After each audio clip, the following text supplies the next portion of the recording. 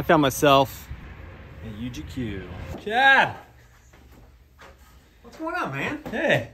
We're going on a trip. This is Chad, owner of UGQ. Where is he? He's right there. Okay. Yes, I flew 1,500 miles just to sleep in a hammock. Tendonitis.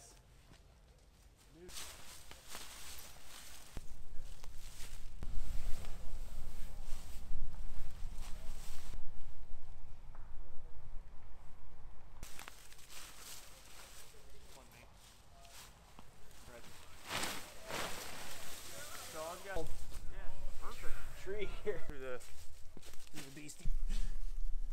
Oh yeah. Out here next to Lake Michigan, my first time here in the state, checking it out.